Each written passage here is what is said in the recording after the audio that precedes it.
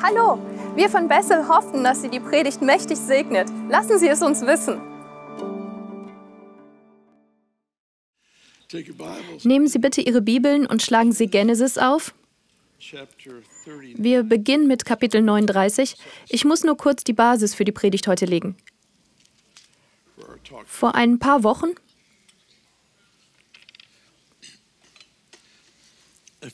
Vor ein paar Wochen, vielleicht mittlerweile vor vier Wochen, habe ich über Vergebung gesprochen. Ein Thema, das wahrscheinlich, ich weiß auch nicht, alle paar Monate wiederholt oder erneut durchgegangen werden sollte. Es ist so wichtig. In Markus 11 gibt es diese Schriftstelle, in der es heißt, sprich zu diesem Berg, hebe dich empor und wirf dich ins Meer, und er hebt sich empor. Weltbewegende Gebetserhörung, auf die dieser Vers folgt. Wenn ihr steht und betet. Denken Sie daran, weltbewegende Gebetserhörung. Wenn ihr steht und betet, so vergebt. Die Speerspitze wirksamen Gebets ist Vergebung. Sie bohrt sich den Weg in einen Lebensstil fortwährenden wirksamen Gebets, das wortwörtlich den Lauf der Geschichte beeinflusst. Ich beobachte bei so vielen Menschen, die mir sagen, dass sie vergeben haben, dass es keinerlei Hinweis auf Frucht gibt. Ihr Gedankenleben, ihre Worte, ihr Verhalten gegenüber der Person hat sich nicht verändert. Es muss eine transformative Veränderung in der Person stattfinden, die in Vergebung unterwegs ist. Heute wird es nicht ausschließlich um Vergebung gehen, obwohl ich das Thema anschneiden werde. Ich möchte über diesen Mann namens Josef sprechen. Seine Geschichte, ich liebe die Bibelgeschichten, weil sie helfen, wie David und Goliath, ziemlich leicht zu verstehen. Sie ermutigen mich mit großem Mut und Hoffnung auf große Siege. Ich liebe diese Bibelgeschichten. Und diese hier ist eine wirklich außergewöhnliche Geschichte von einem jungen Mann, der einen Traum hatte. Er hatte Träume, die Gott ihm geschenkt hat. Träume über seine eigene persönliche Signifikanz. Übrigens, ich finde es toll, so hoch über Ihnen allen zu stehen, weil Sie, wenn wir mit der Predigt fertig sind, eine Schultermassage brauchen werden. Wir sollten das anbieten. Vielleicht könnte das Gebetsteam am Ende der Predigt eine Massagetherapie anbieten. Vielleicht sollte ich mich ein wenig weiter hinten hinstellen. Josef hat diesen Traum, den der Herr ihm über seine zukünftige Signifikanz geschenkt hat. Ich denke, dass etwas von Josefs eigener Meinung in den Traum geraten ist. Ich kann es nicht beweisen, aber es gibt einen Vers im Psalm 105, in dem es heißt, bis zu der Zeit, da sein Wort eintraf und der Ausspruch des Herrn ihn geläutert hatte. Der Vers scheint zu implizieren, dass etwas eingeflossen ist. Kein Verstoß gegen Gottes Willen, aber irgendwie hat Josef Einfluss genommen und Gott hat in ihm gearbeitet, um ihn zu der Person zu machen, die das werden sollte, wovon er geträumt hat. Amen, Bill. Hier ist also Josef. Er hat diese Träume. Und er macht den Fehler, seinen Brüdern davon zu erzählen. Josef war bereits das Lieblingskind. Sein Vater Jakob hat ihm einen bunten Mantel gekauft. Er stach hervor und die Brüder hassten Josef. Sie wollten ihn ermorden. Tatsächlich haben sie ihn nur deshalb nicht ermordet, weil Ruben, der älteste Bruder, sagte, auf keinen Fall, das können wir nicht tun. Und so haben sie sein Leben verschont, aber sie hassen ihn abgrundtief. Sie werfen ihn in eine Grube und überlegen, was sie tun sollen, und als Ruben kurz weg ist, verkaufen sie ihn in Sklaverei an einige Händler, die gerade vorbeikommen. Hier ist also Josef. Er hat diesen Traum von persönlicher Signifikanz. Er hat diesen Traum, in dem sich seine Brüder, seine Mutter, sein Vater, jeder vor ihm verbeugt. Was ein peinlicher Traum ist, aber er hat jedem davon erzählt. Vermutlich nicht gut. Ja, wenn es heißt, wirf deine Perlen nicht vor die Säue, bedeutet das nicht, dass irgendjemand als Schwein bezeichnet wird. Es bedeutet, nimm nicht etwas Wertvolles und leg es jemandem zu Füßen, der es nicht zu schätzen weiß. Und genau das war der Fehler, den er gemacht hat. Er war in Sklaverei und wurde an einen ägyptischen Anführer verkauft. Einen sehr reichen Anführer, Potiphar. Er wurde als Sklave verkauft und er florierte so sehr in Potiphars Haus, dass bei allem, was er anfasste, Potiphar zu florieren begann. Alles, was Josef anfasste, wurde vom Herrn gesegnet.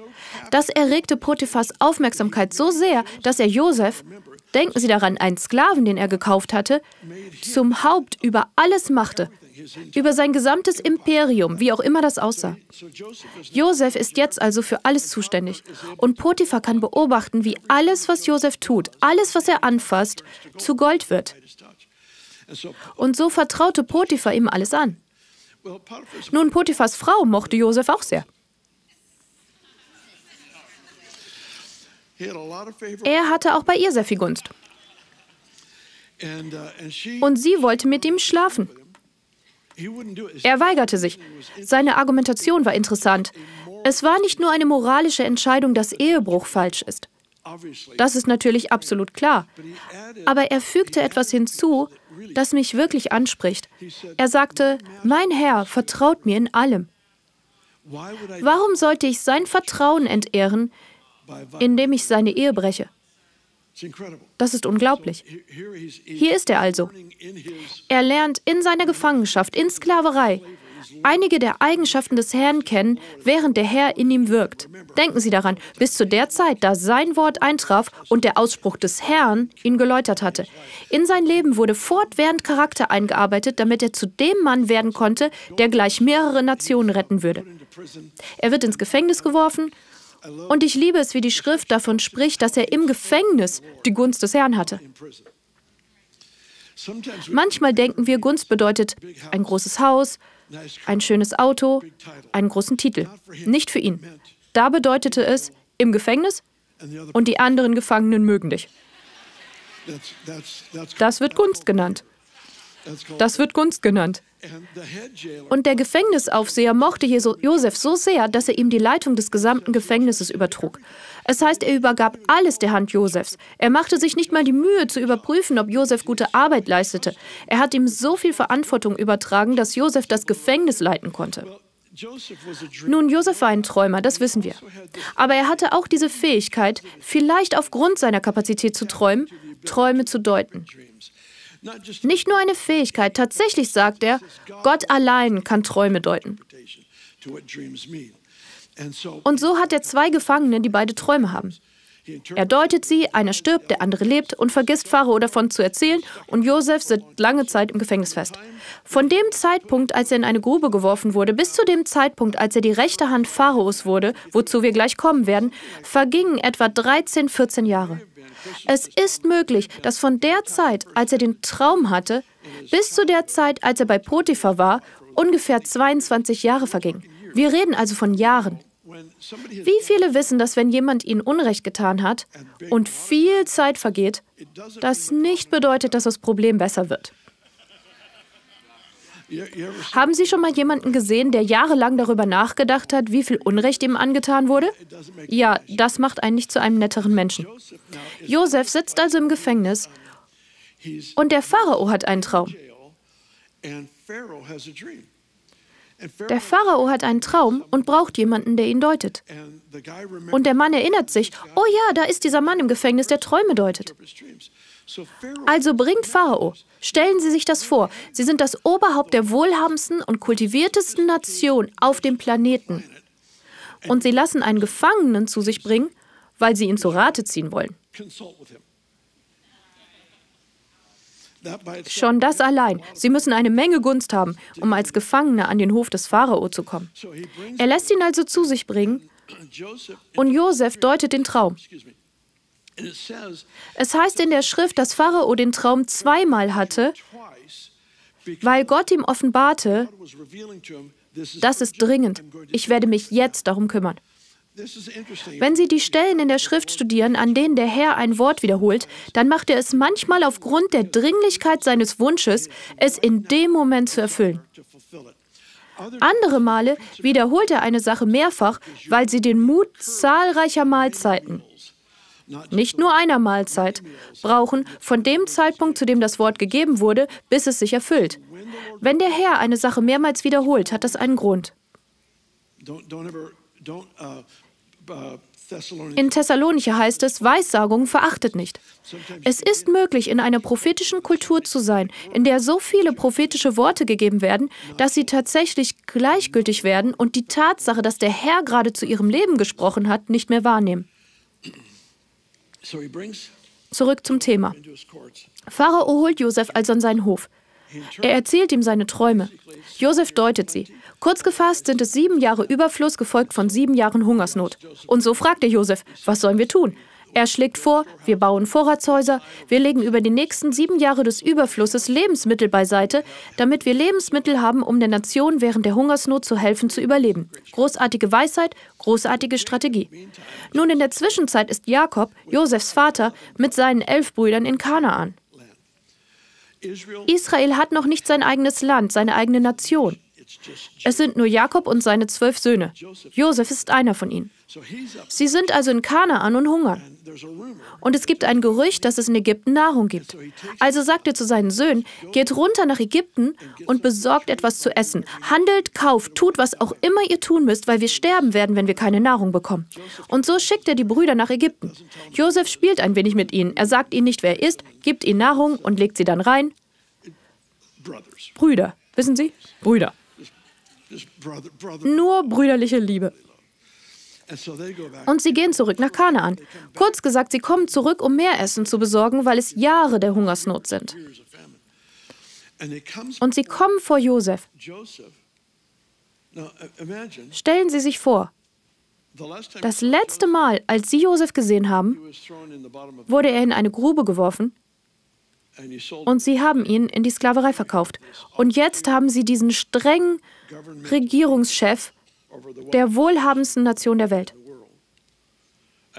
Er steht da mit seiner Würde, mit allem, was zu seinen Gunsten als Weltführer arbeitet. Und er steht vor seinen Brüdern und sagt, kommt her. Nun, sie wissen nicht, ob er ihnen den Kopf abschlagen wird oder was passieren wird. Sie leben bereits mit Schuldgefühlen wegen dem, was sie ihrem eigenen Bruder angetan haben. Sie haben ihren Vater belogen und gesagt, er wurde getötet. Josef sieht sie also an und sagt, kommt her. Sie kommen näher. Und er sagt, ich bin euer Bruder.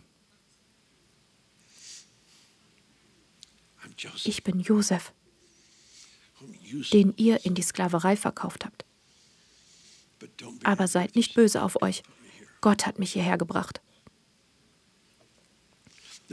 Da ist etwas an Vergebung, das am besten funktioniert, wenn wir Gottes Souveränität sehen. Dass Gott tatsächlich in der Lage ist, alle Elemente unseres Lebens zu nehmen, das Gute, das Schlechte, das Hässliche, alle Elemente unseres Lebens und sie zu einer Gottgeschichte zu verarbeiten, zu einer Herrlichkeitsgeschichte. Und am schwierigsten ist das, wenn sie mittendrin stecken und noch keine Wiedergutmachung, noch keine Versöhnung sehen. Sie stecken mittendrin, zu Unrecht beschuldigt zu werden. Sie stecken mittendrin in all den Dingen, die nicht so gelaufen sind, wie sie sollten. Josef steckt in einem solchen Moment und er ruft seine Brüder zu sich und sagt, ich bin Josef, den ihr in die Sklaverei verkauft habt. Nummer eins. Vergebung vergisst nicht. Diese Vorstellung, dass sie vergessen müssen, was ihnen angetan wurde, nur Gott kann sich entscheiden zu vergessen. Sie und ich müssen uns erlösend erinnern. Vergebung bedeutet, dass ich mit meinen Erinnerungen richtig umgehen werde dass ich meine Erinnerung korrekt verwalten werde. Vielleicht war es eine furchtbare Missbrauchssituation und doch haben sie überlebt. Sie müssen diese Erinnerung mit Jesus im Bild sehen, der ihr Leben verschont hat. Sie müssen ihre Erinnerung irgendwie mit der Realisation handhaben, dass es unmöglich ist, dass mir ein Blatt ausgeteilt wird, mit dem Gott nicht gewinnen kann, dass er die Situation nicht zu meiner Stärke und seiner Ehre wenden kann. Es läuft wirklich alles auf Vertrauen heraus. Es läuft darauf hinaus, wem vertraue ich. Ich hatte vor kurzem ein Gespräch, bei dem man jemand sagte, Mann, Gott in dieser Situation zu vertrauen ist wirklich schwer. Ich sagte ja, aber welche Optionen gibt es? Ich kann entweder demjenigen vertrauen, der nie gelogen und nie versagt hat, oder ich kann mir selbst vertrauen. Nun, das hat noch nie zu einem guten Ergebnis geführt, wenn ich beschlossen habe, dass ich die Quelle aller Weisheit und Erkenntnis für diese Entscheidung bin. Da ist etwas dran, sich selbst aufzugeben. Ich meine, es ist lachhaft, wenn wir darüber reden, aber wenn Sie darüber nachdenken, er ist absolut treu. Er ist der absolut perfekte Vater. Er liebt mich bedingungslos. Er lügt nie. Und seine Absicht ist es, in meinem Interesse zu wirken. Warum sollte ich meiner Meinung vertrauen? Warum sollte ich Ihrer vertrauen? Nichts für ungut. Hier ist also diese Geschichte. Bitte sehen Sie sich mit mir Kapitel 39 an. Wir werden ein paar Verse durchlesen. Ich möchte, dass Sie einen Eindruck davon bekommen, was Gott über Josef sagt. Kapitel 39, Vers 2. Der Herr aber war mit Josef, und er war ein Mann, dem alles gelang. Und er blieb im Haus seines ägyptischen Herrn. Als nun sein Herr sah, dass der Herr mit ihm war und dass der Herr alles, was er tat, in seiner Hand gelingen ließ. Vers 5. Und es geschah, seitdem er ihn über sein Haus bestellt hatte und über alles, was er besaß, da segnete der Herr das Haus des Ägypters um Josefs willen. Und der Segen des Herrn war auf allem, was er hatte, im Haus und auf dem Feld. Wenn die Gunst des Herrn auf ihrem Leben liegt, wird der Segen des Herrn manchmal von anderen gespürt und nicht von ihnen. Josef ist immer noch ein Sklave, aber sein Herr floriert unter seiner Gunst.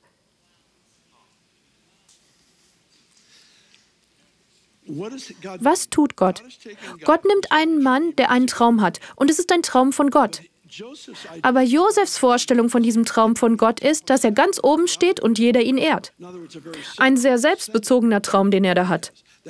Das ist seine Auffassung davon, was Gott zu ihm gesprochen hat. Und Gott entwöhnt ihn von dieser Art Traum, der ihn denken lässt, es geht nur um mich. Ich höre mir die Träume von Leuten an und ich liebe es, all ihre Träume zu feiern. Aber jeder Zweijährige glaubt, dass sich die Welt um ihn dreht. Und manchmal sind unsere Träume die Träume von Zweijährigen, weil wir uns noch nicht mit dem Zweck des Traums auseinandergesetzt haben. Was war der ursprüngliche Zweck von Josefs Traum? Seine Stellung der Gunst. Er hat nicht floriert, sondern Potiphar. Es war nicht sein Palast, nicht sein Einkommen, nicht sein Job, nicht seine Freiheit. Nicht seine Familie, nicht irgendetwas von all dem. Es war Potiphar, der gesegnet wurde. Warum? Wegen der Gunst, die auf Josef war. Manchmal lässt sich Gottes Gunst auf unserem Leben nicht am besten daran messen, was wir... Oh, betrachten Sie das bitte mit einer gewissen Vorsicht, weil ich es ernst meine, aber folgen Sie bitte meinem Gedankengang. Manchmal lässt sich die Gunst des Herrn nicht am besten daran messen, was wir angesammelt oder erreicht haben, sondern an dem Dominoeffekt unseres Ja's zu Gott auf unsere Mitmenschen, auf diejenigen, die unter unserem Einfluss sind. Es gibt Leute, ich erinnere mich, wie ich vor Jahren Mensch, ich erzähle das nie, aber ich erinnere mich, wie ich vor Jahren mit einem Geschäftsmann zu Mittag gegessen habe.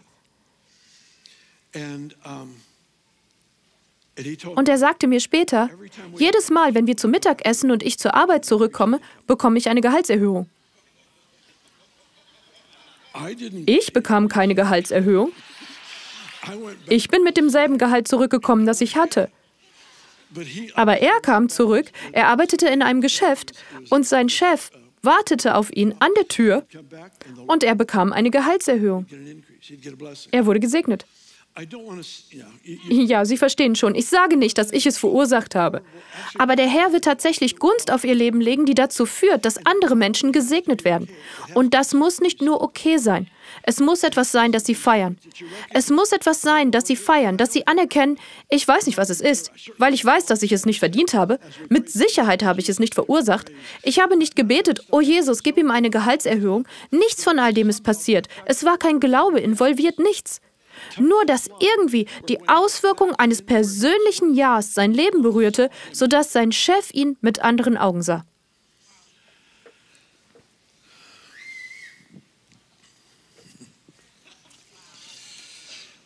Kapitel 39, Vers 21.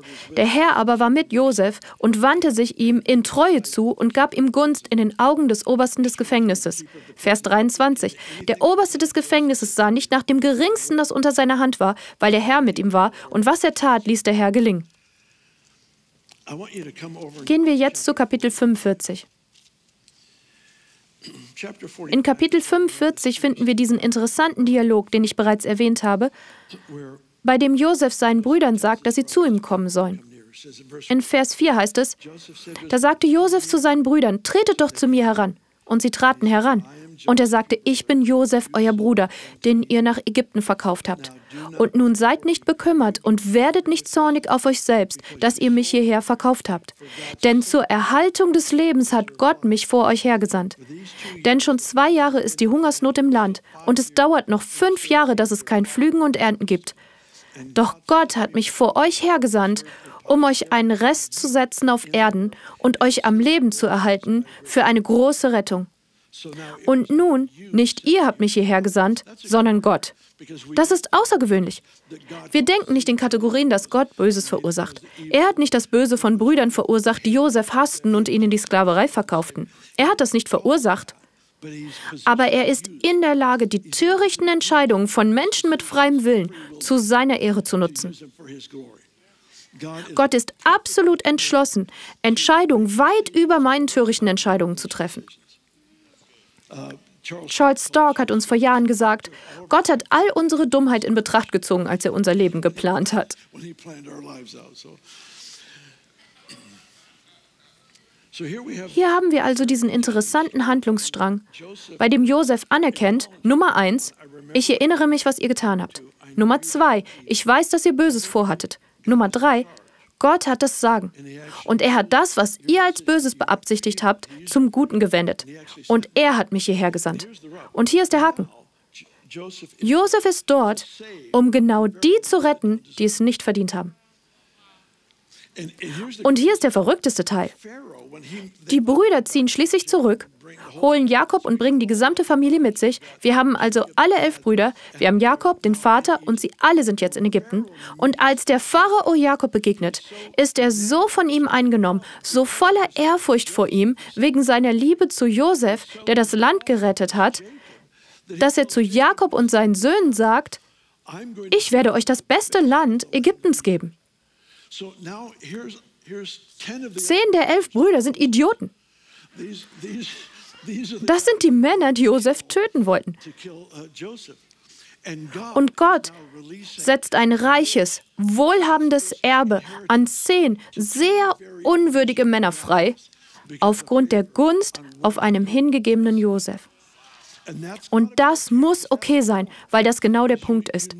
Sie wissen, dass sie vergeben haben, wenn sie den Segen, den Wohlstand derer feiern, die sie verletzt haben.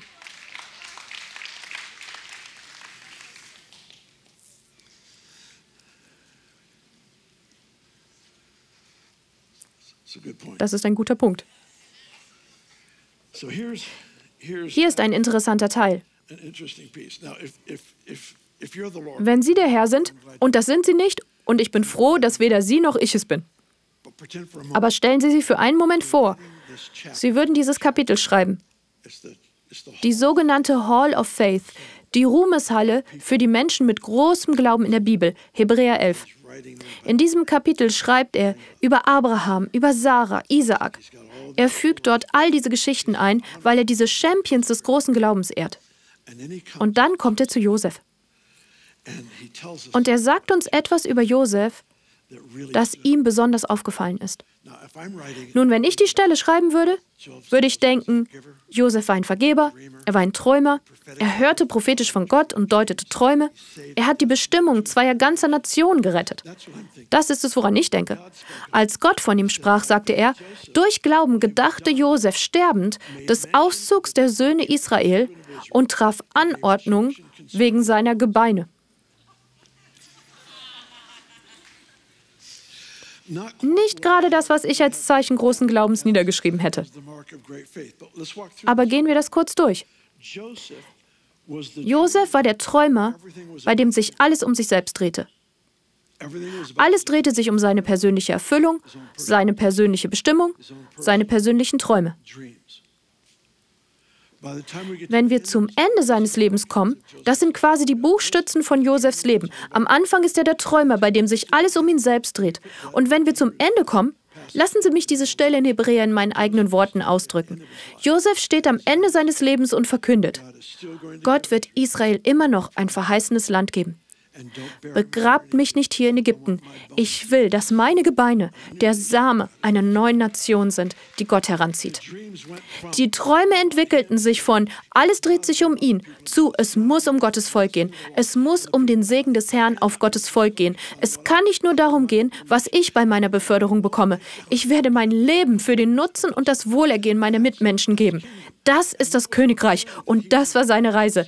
Es heißt, bis zu der Zeit, da sein Wort eintraf und der Ausspruch des Herrn ihn geläutert hatte, bis schließlich am Ende seines Lebens seine letzten Worte lauten, es gibt ein verheißenes Land. Ich will, dass meine Gebeine der Same sein werden von dem, was Gott in diesem Land, an diesem Ort heranziehen wird. Und genau davon hat Gott Notiz genommen und gesagt, das war Glaube. Das war Glaube.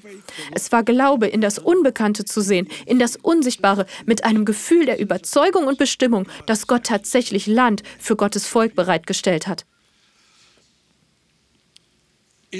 Zwischen diesen zwei Buchstützen, von persönlichen Träumen hin zu gemeinschaftsbezogenen Träumen, befand sich eine signifikante Prüfung.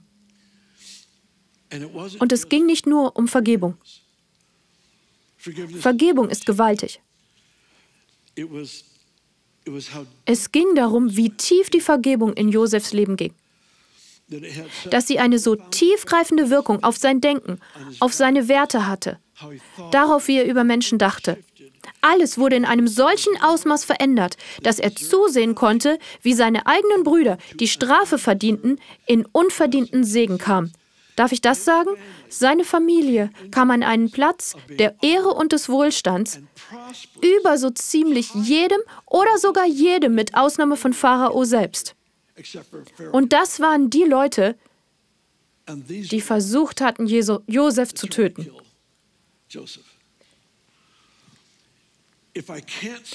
Wenn ich den Segen des Herrn auf einem Sünder nicht feiern kann, dann bin ich selbst nicht qualifiziert weil ich das bin. Jemand, der gesündigt hat und dem Gott vergeben hat. Und ich verdiene diese Vergebung nicht mehr als die Person, die mich am meisten verletzt hat. Die schneidet, die Speerspitze, wenn Sie so wollen, von transformierendem Gebet ist diese aggressive Haltung zu vergeben und fortwährend zu vergeben. Ich glaube nicht, dass das etwas ist, das für Krisen reserviert werden sollte.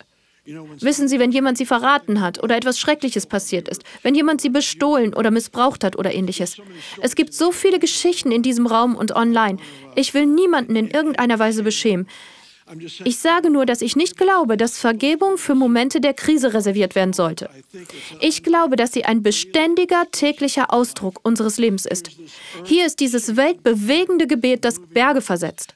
Und gleich der nächste Satz lautet, wenn ihr steht und betet, so vergebt. Lassen Sie die Speerspitze Ihres weltverändernden Gebetslebens die Tatsache sein, dass Sie aggressiv nach dem Privileg streben, jedem zu vergeben, der Vergebung nötig hat. Und das ist es, was verändert. Wir haben Josef den Träumer. Der Träumer, den der Ausspruch des Herrn läutete, musste wissen, wie man voller Vergebung lebt. Und nicht nur Vergebung in dem Sinne, dass er sie von seinem Gericht befreit, sondern Vergebung zu einem Punkt, dass es okay ist, dass sie Segen und Wachstum und Gunst erhalten, die sie nicht verdient haben.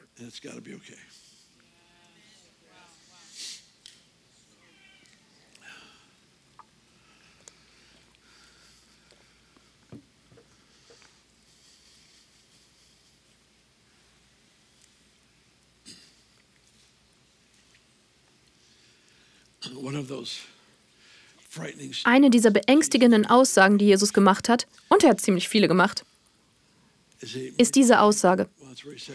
Wem ihr vergebt, dem vergebe ich. Diese Art Verse macht mich nervös, aber ich vermeide es nicht, in seiner Gegenwart nervös zu sein. Ich weiß nur, wenn ich nervös bin, bin ich derjenige, der sich ändern muss.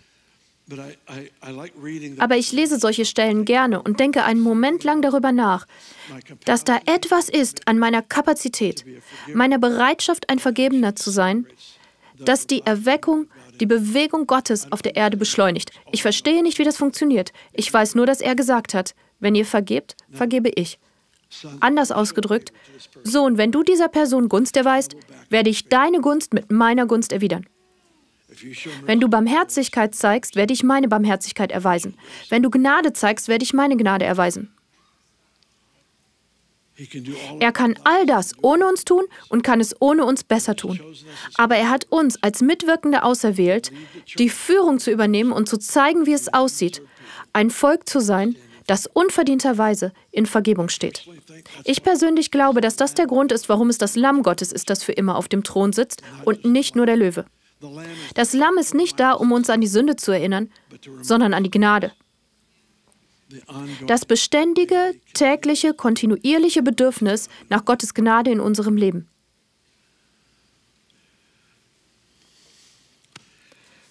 Das ist vermutlich genug.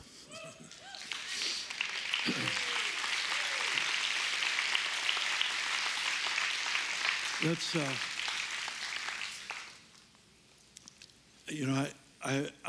ich möchte offensichtlich, dass jeder in diesem Raum und online weiß, was Vergebung ist. Ich möchte, dass Sie das von Gott wissen. Wenn es hier oder online jemanden gibt, der keine persönliche Beziehung zu Jesus hat, dann möchte ich, dass Sie wissen, wie das ist. Ich möchte, dass Sie wissen, wie es ist, verwandelt zu werden. Die Bibel nennt es Wiedergeburt. Es bedeutet, dass Sie von innen heraus verändert werden.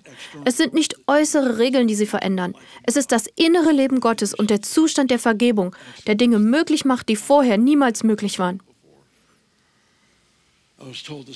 Heute Morgen, als ich an den Türen hinten stand, um die Leute beim Rausgehen zu begrüßen, kam eine Frau vorbei und sagte, meine Sucht wurde vor neun Jahren in diesem Haus gebrochen. Frei. Eine Süchtige, die frei ist. Neun Jahre frei. Das ist es, was er tut. Es waren nicht die Regeln, die verändert haben, sondern eine Person. Es war eine Person. Und die Möglichkeit, die Realität von Gottes Liebe kennenzulernen, die Realität persönlicher Vergebung, die Realität einer Beziehung, einer tatsächlichen Beziehung zu Gott, bei der sie mit ihm sprechen und er mit ihnen spricht. Ein Vater. Die ist für jeden hier verfügbar. Falls es irgendjemanden gibt, der sagen möchte, Bill, das bin ich und ich will das Gebäude nicht verlassen, bis ich weiß, was es heißt, ein Kind Gottes zu sein. Bis ich weiß, was es heißt, vergeben zu sein. Bis ich weiß, was es heißt, wiedergeboren zu sein. Falls sich irgendjemand in dieser Lage befindet, dann möchte ich Sie bitten, Ihre Hand zu heben, weil wir Sie feiern und dafür beten werden, dass Gott ein großes Werk tut. Gleich hier drüben ist jemand. Ich segne Sie. Noch jemand? Heben Sie bitte Ihre Hand ganz hoch. Noch jemand? Warten Sie nur einen Moment. Ich will nur sicher gehen, dass wir niemanden übersehen. Gleich dort drüben ist noch jemand. Wunderbar, wunderbar. Danke, Herr. Ich habe vergessen, unsere Online-Familie zu grüßen. Wir sind so dankbar, dass Sie bei uns sind. Ich darf so viele von Ihnen auf meinen Reisen überall auf der Welt sehen. Und ich möchte Sie einfach ehren und segnen. Und falls es irgendjemanden in unserer Online-Familie, in unserem Online-Publikum gibt, der Jesus noch nicht kennt, aber Christus sein Leben geben möchte, dann bitte ich Sie, uns einen Kommentar zu schreiben. Schreiben Sie einfach, ich möchte Jesus kennenlernen. Und einer unserer Pastoren wird sich mit Ihnen in Verbindung setzen und für Sie beten.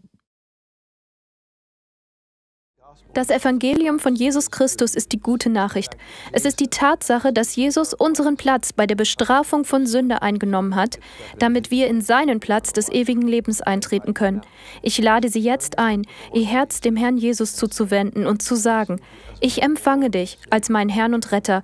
Ich wende mich von jedem Bereich meines Lebens ab, der dich nicht ehrt, und ich lebe bewusst mit dem Ziel, dir zu dienen, dich zu ehren, zu feiern, wer du bist, als mein Herr, mein Retter.